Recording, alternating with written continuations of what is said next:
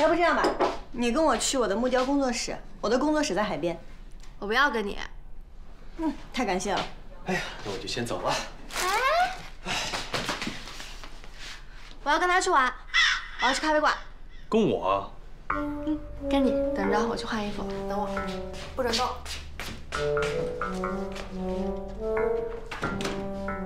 我真不会带孩子，拜托你了。哎呀，难得小公主喜欢你啊，小哥加油，跟我走。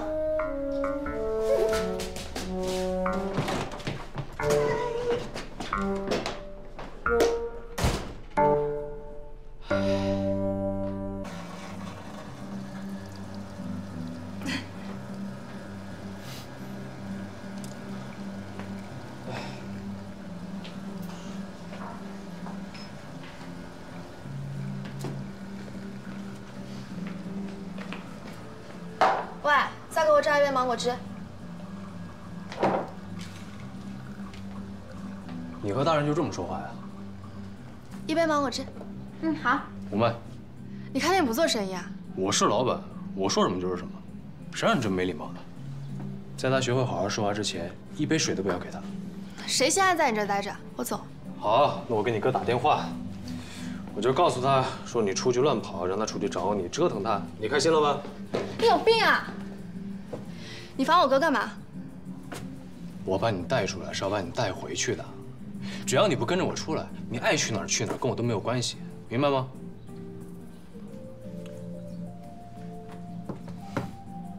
道歉。对不起。对不起谁？子秋哥。看你的剧去吧。给我小妹妹照片，王果汁。好。呃，我给钱。不卖。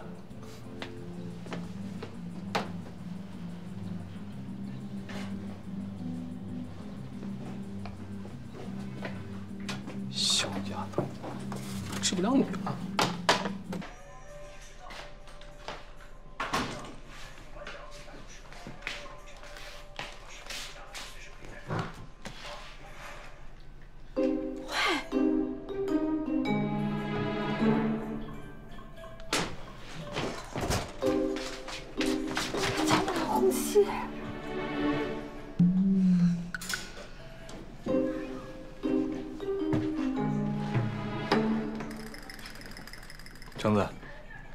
跟我过来一趟。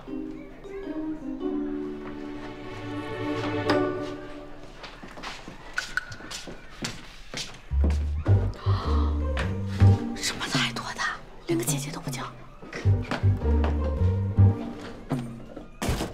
他明天到底走不走？估计不走。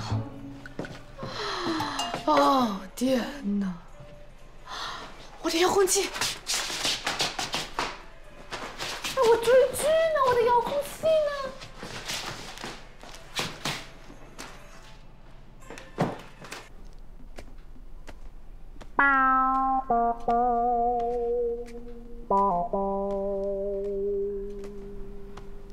干嘛？我今天跟你哥商量了商量，明天你可以跟着我，但是呢，你必须听我的话。行啊，听你的。第一。不许吃榴莲，我就吃了一块。熏走了三桌。第二，你在那椅子上坐一天，这屁股也酸吧？这你也管？当然得管了，谁让你跟着我呢？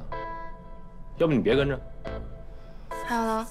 第三，你说你年纪也不小了吧？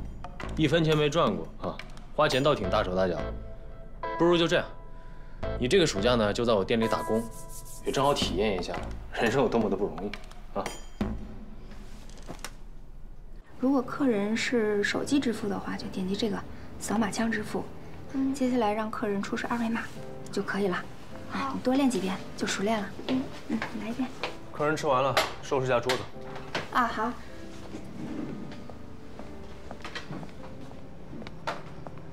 我要两杯拿铁。好。拿铁，稍等。拿拿铁，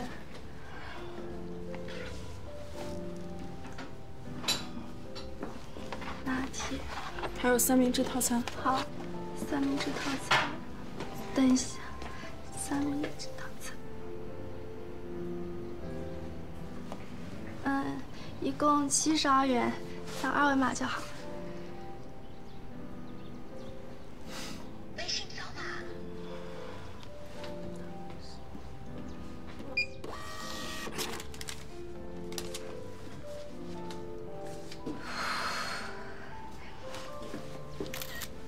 我干嘛？给你哥报备，祝你首次收银成功。那你拍的好看吗？我刚刚表情不太好，你加个滤镜再发。两杯拿铁是吧？做一个三明治套餐。好的。长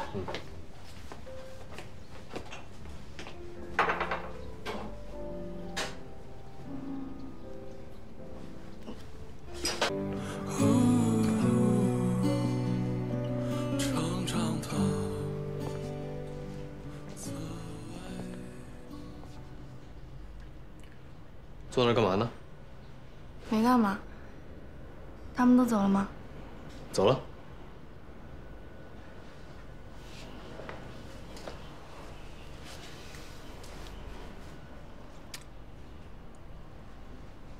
关心人的时候，态度也很重要。你知道有一句俗话叫“刀子嘴豆腐心”吗？意思就是，嘴巴上快，但是内心却很柔软。但是大部分时候呢，光是嘴巴坏就已经足够伤人了。那又怎么样？反正他们也讨厌我。谁讨厌你啊？你哥，还是你尖尖姐？他们都讨厌我。也是，你做事风格确实挺讨厌。不是因为这个，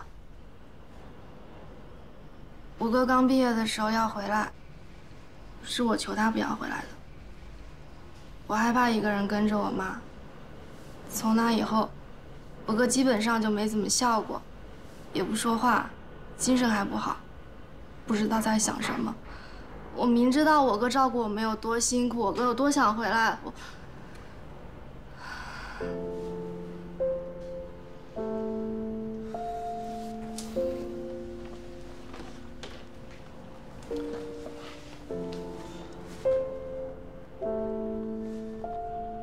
其实你害怕也很正常，毕竟你还是个小孩嘛。我当时都十四岁了，我每天都在想着，我一定不要像我妈。可我做的事情跟她又有什么区别？区别就是，十四岁还是人形挂件的年纪，但是五十岁不是。人形挂件？嗯，你想想看，你十四岁的时候，有没有什么生活能力。可不就是个人形挂件也是啊。所以说啊，十四岁的你，那种程度的撒娇完全可以被原谅。而且你自己不也说吗？你哥不回来，很大一部分原因是因为你。所以你怎么能说你哥不疼你呢？可是李尖尖那么讨厌我。我哥一回来，他爸还有你们全家都在背后说我们坏话，我哥的心完全都被你们夺走。哎，等等等等，这些话你都听谁说的？你妈？你都已经十七岁了，你就不会自己思考吗？可是我思考之后也觉得是这样的。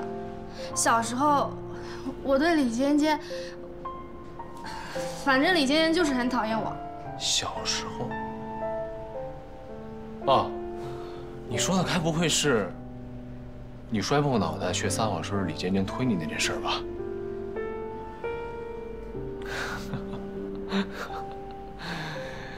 都这么多年了，你还在纠结这事儿？什么叫纠结？你当你尖尖姐是个小孩吗？这么记仇，都这么多年了，她早就忘了。你之所以觉得她讨厌你，其实是因为你觉得对不起她。你应该直接跟他道歉，不然你这么冷言冷语的，谁知道你内心在想些什么呀？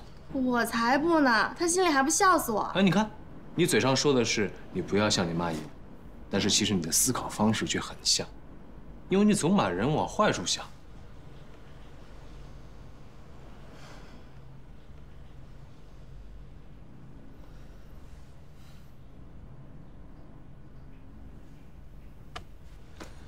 给你十分钟，好好调整状态，回来工作。快点来到成年人的世界吧。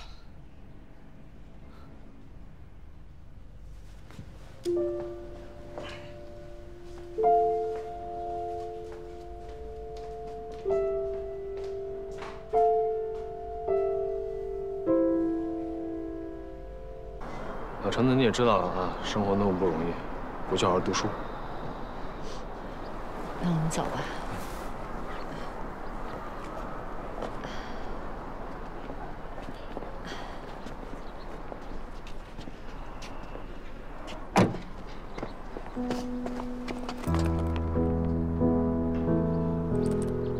好好读书，别光知道玩。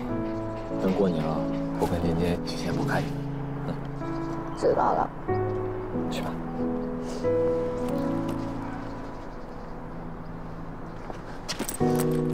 子修哥，谢谢你，我会想你的。行，那有空回来玩。